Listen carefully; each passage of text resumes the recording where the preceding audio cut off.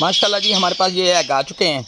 हम ये ले जाएँगे और इंक्यूबेटर में रखेंगे और इन ताला ट्वेंटी सिक्स डेज़ के बाद हमारे ये जो हैं चिक्स आ जाएँगे।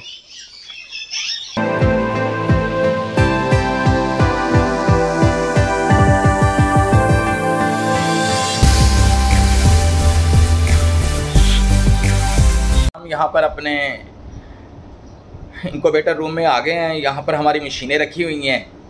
तो अब हम ऐसे करेंगे कि यहाँ पर ये जो एग हैं, सारों को निकालेंगे और इनको हम यहाँ पर डेट लिख कर तो इनको हम जो है यहाँ पर रख देंगे और इन ताला जो होते हैं मुर्गियों के अंडे, इनके बच्चे जो हैं, ट्वेंटी ट्वेंटी वन डेज़ में आ जाते हैं हमारे पास। और जो मोरों के हैं, मोरों का ये है कि ये तकरीबन इनको 26 से 27 डेज़ लग जाते हैं बच्चे आने में।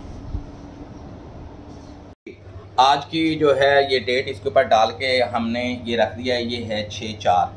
छः चार को हम ये रख रहे हैं अंडे। तो इसका ये है कि ये तकरीबन 26 27 डेज़ बाद जब ये बच्चे निकलेंगे तो फिर आपको वो दिखाएँगे इन ये आज की डेट डाल दी जाती है। इसके बाद हम इनको रखेंगे ताकि ये देखेंगे कि बच्चे कितने निकले। और इन ताला जैसे ही ये बच्चे निकलेंगे, वो फिर आपको दिखाएँगे। जी, हमारे ये अब जो है, ये अंडे हमने इन पे डेटे लिख दी हैं। अब आज हम इसको मशीन में रखेंगे। और ये आप जो है, यहाँ से उठाएँगे और इसको हम इनको अपनी इनको बेटा है मशीन जो कि हमने बाहर से मंगवाई है। प्रोडक्ट बहुत अच्छी, बहुत अच्छा रिज़ल्ट है इसका। ये इसमें हम अब लगा देंगे ये अंडे। और इन ताला इनके बच्चे ठीक छब्बीस से सत्ताईस दिन बाद जैसे ही निकलेंगे, फिर हम आपको वो दिखाएँगे। और ये अब इनको रख दिया गया है। रख कर हम मशीन फिर ऑन कर देंगे। तो अक्सर दोस्त पूछते हैं कि मोरों के लिए टेम्परेचर क्या होना चाहिए। इसके लिए जो आइडियल टेम्परेचर है, वो आप रखेंगे थर्टी सेवन पॉइंट एट और इसकी जो नमी है, वो आप रखेंगे फिफ्टी फाइव ये इसके लिए बिल्कुल परफेक्ट टेम्परेचर है मोरों के अंडों के लिए। इन इसमें अच्छा रिज़ल्ट आएगा। मुर्गियों के लिए आप इसकी नमी जो है तकरीबन साठ से पैंसठ भी कर सकते हैं। लेकिन मोरों के अंडों के लिए ज़रूरी है कि आप इसका टम्परेचर जो है वो 37.8 और नमी जो है 55 रखेंगे।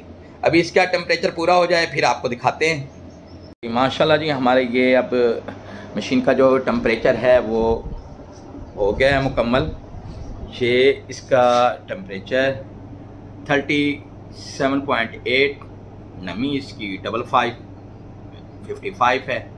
और अक्सर दोस्त ये भी पूछते हैं कि ये तीसरे नंबर पर डबल जैसे डबल सिक्स आया हुआ है, छियासठ तो इसका ये क्या है? ये टर्निंग है जी इसकी। ये जब ये हमने इसकी सेटिंग हर एक घंटे के बाद दी हुई है। हर एक घंटे के बाद इसकी ट्रे जो है वो ट्रेंड करती हैं। जैसे ये मैं आपको दिखा रहा हूँ, एक हर घंटे बाद ये लेफ़्ट या राइट हर घंटे बाद ये अपने आप ही ये करती है, जैसे ये हो रही है। बहुत ही स्लो स्लो इसका रिज़ल्ट हमारी मशीन का बहुत अच्छा है, माशाल्लाह। 88 परसेंट इसका रिज़ल्ट है। बहुत अच्छा रिज़ल्ट है। 88 का मतलब इसे हम 100 ही समझेंगे। और ये जैसे कि एक घंटे बाद लेफ़्ट गई है तो ऐसे ही अगले घंटे बाद ये राइट जाना शुरू हो जाएगी।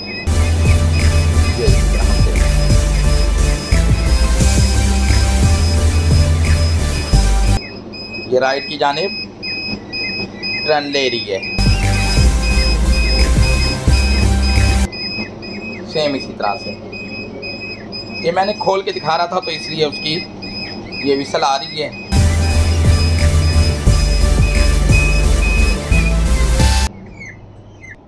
ठीक है इन ताला जैसे ही आप इनके बच्चे निकलेंगे, फिर वो आप हम दिखाएँगे।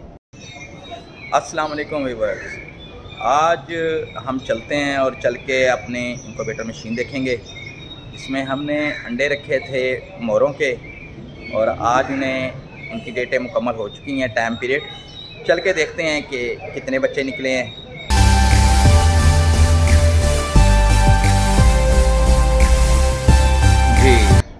जी दोस्तों इसे खोलें और चेक करते हैं।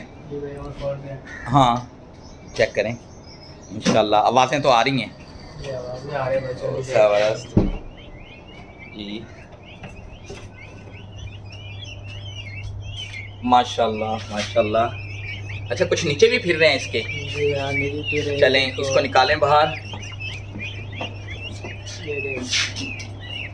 माशाल्लाह माशाल्लाह। ये कुछ अंडे भी हैं इनमें दिखाएँ बच्चे नि, अच्छा ये ये, ये निकाल रहे हैं अभी। जी अभी निकलने वाले हैं इनके डेट अच्छा है। ये हम जरा अपने व्यूवर्स को दिखा देते हैं। कि इस तरह से कटिंग करके ये बीच में से निकलते हैं।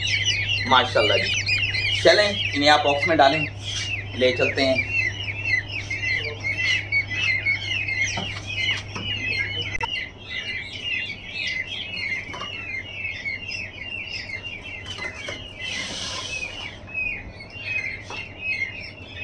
सर आज कितने बच्चे निकले हैं माशाल्लाह? माशाल्लाह पंद्रह बचे हैं। माशाल्लाह जी माशाल्लाह।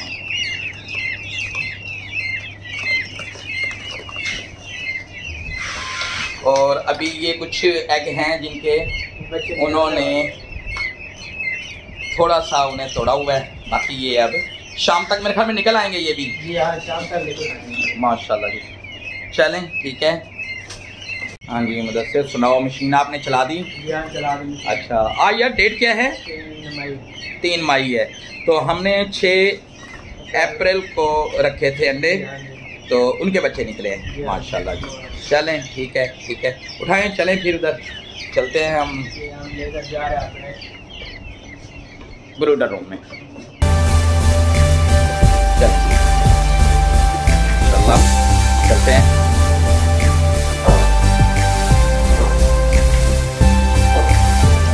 चलें जी, अब यहाँ पर इन्हें हम रखेंगे, खोल देंगे।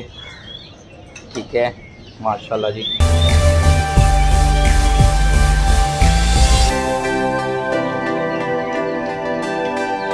ये वीडियो हमने आपके लिए बनाई है कि इनके क्या प्रोसीजर होता है, इसका जब अंडे आते हैं और इनके किस तरह से हम बच्चे निकलवाते हैं।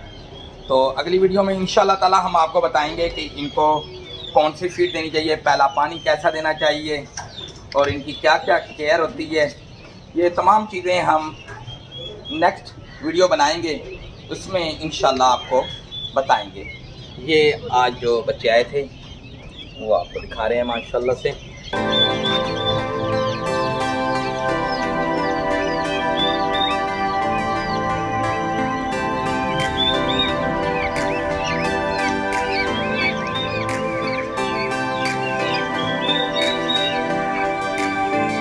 ठीक है मतलब से इन फिर मज़ीद जब बच्चे आएँ तो आप हमें बताएँगे फिर हम देखते हैं जी। ओके जी अल्लाह हाफिज़।